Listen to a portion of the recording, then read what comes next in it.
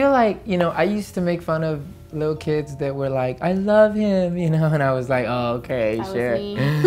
and then and then one time like I just felt like God speak to me like you can't diss somebody because their level of love is the kiddie pool.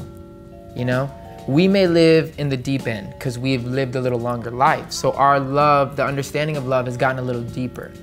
But it doesn't affect us any different than the kids in the kiddie pool. Like everybody's still in the pool. You know what I'm saying? So just because they don't have a deeper understanding of it, to them, where they're at, they feel as strongly and as and as deep as they can about love. Obviously, as they get older and they grow, they're gonna realize, oh, that was just this, because they're gonna grow past it, they'll get mature just like we did. But it doesn't affect them any less. And I feel like once we can get into their shoes and realize that, look, this is real to them. You know, this is as real as it is for a married person to get divorced, that's how they feel at their emotional state.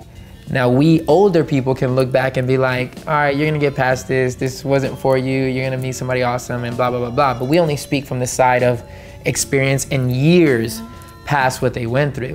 But to them, you just can't, you can't belittle it. It's, it's very, very, it's very important to let them know that, man, I get it. It hurts.